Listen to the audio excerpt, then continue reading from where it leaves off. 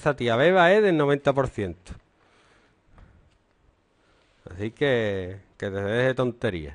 Antes de criticar a los profesores, que ella sea una buena alumna.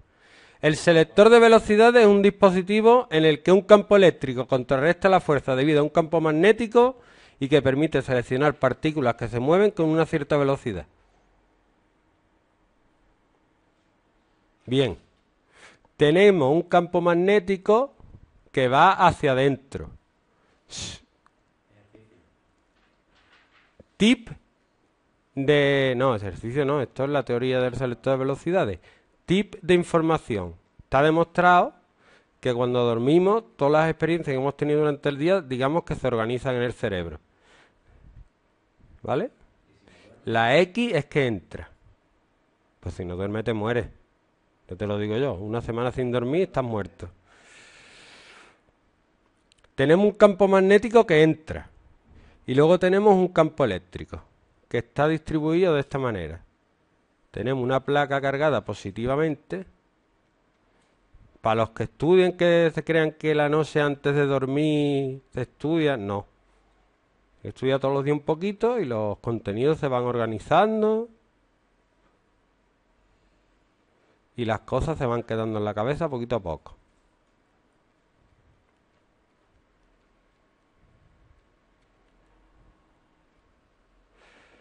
El sentido sería este. Y ahora, ¿de qué forma eh, puede frenar o acelerar esto la partícula? Si tenemos una carga positiva, se va a producir lo siguiente. La velocidad va a ir hacia aquí. Y va a ser controlada por un lado por el campo magnético, que la fuerza del campo magnético va a ir hacia arriba, y por otro lado por el campo eléctrico que sobre una carga positiva va a ir hacia abajo. ¿Lo veis o no? Que el campo magnético va hacia arriba si le cargas positivas, sí, ¿no? No tenemos que hacer la regla de D otra vez. Sería la fuerza, el campo magnético que entra. Dice la partícula con carga positiva que penetra con velocidad horizontal en un campo magnético que entra en el plano del papel se verá sometido a una fuerza magnética vertical y dirigida hacia arriba, que es esta. Si establecemos un campo electrostático dirigido hacia abajo de forma que ejerza sobre la partícula una fuerza igual a la magnética, pero de sentido contrario, la partícula seguirá con su movimiento rectilíneo y uniforme inicial. ¿Sí o no? Tiene que ser igual en las dos, si no, hace una curvita. Observe que el campo magnético debe ser perpendicular al campo electrostático y su sentido debe ser el que se requiera para que la fuerza que provoca sobre la partícula se oponga a la fuerza eléctrica. La fuerza eléctrica tira para abajo y la fuerza a otra tira para arriba, que si no da una curva.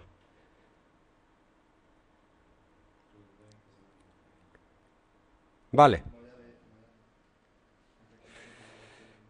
Se tiene que dar, hemos dicho que la fuerza magnética sea igual a fuerza eléctrica. La fuerza magnética es Q por V por B. Y la fuerza eléctrica es Q por E. De forma que la velocidad es la magnitud del campo eléctrico partido de la magnitud del campo magnético.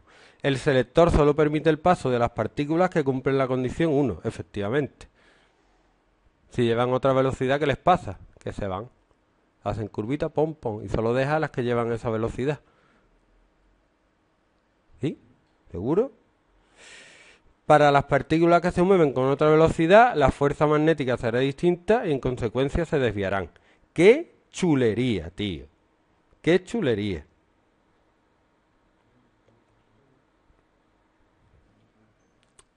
Problema. Houston. Un protón que se mueve con velocidad constante en el sentido positivo del eje X penetra en una región del espacio donde hay un campo eléctrico E de 4 por 10 elevado a 5 en el eje Z. Newton partido Colombia. Y un campo magnético, que ¿en qué eje está el campo magnético? En el, en el eje Y, porque es J siendo K y J los vectores unitarios en las direcciones de los ejes Z y respectivamente. Dice, Determínese la velocidad que debe llevar el protón para que atraviese dicha región sin ser desviado. Are you kidding me? Or what? Un dibujito. What the hell?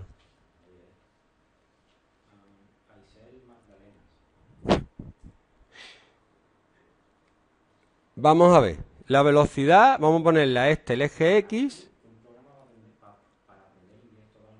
a este Y y a este Z. Escúchame con las orejas. ¿Ah, sí? Toda la- Ah, Hay otra cadena que era Vaughan, pero de la tele no tiene. V. ¿Para dónde va la fuerza eléctrica? Arriba no, porque dice que es 4 por 10 elevado a 5K y el eje Z lo he dibujado aquí, así que va para acá. No, estoy mirando el dibujo. Esto sería E y la fuerza eléctrica también estaría en este sentido.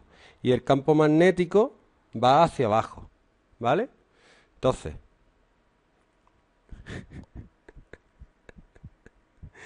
la fuerza eléctrica, como la carga es positiva, va hacia aquí. ¿Vale? ¿Para dónde va la fuerza magnética? Venga. Campo magnético. Espérate.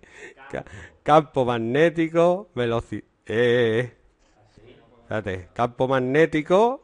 El, Y la, Velocidad, campo, la... la fuerza sería que saldría de este. espérate. Velocidad. Campo. Espérate, que lo ponga bien. Iría para adentro. ¿no? Vamos a ver, que Pero es que como va a ir para adentro la fuerza... La fuerza magnética sí. Velocidad, campo... ¿Y yo qué? La de la mano derecha. A ver, Yo ya me estoy liando. Velocidad.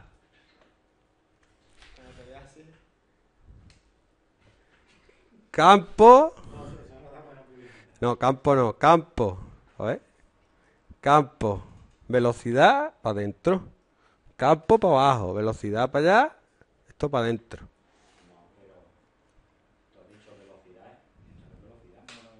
Perdona, que Y esto. El campo y el. Velocidad. Velocidad, ¿no? Vale. Velocidad. Para allá. Y el campo va para abajo. A ver.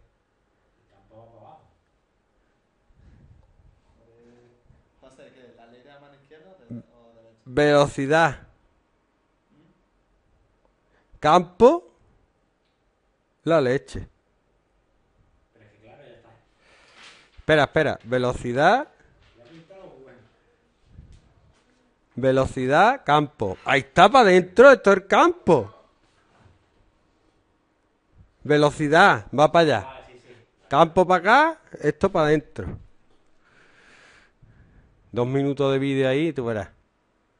Eh, esfuerzo del campo. Además, es que tiene que ser contraria. Porque me están preguntando por un selecto de velocidades.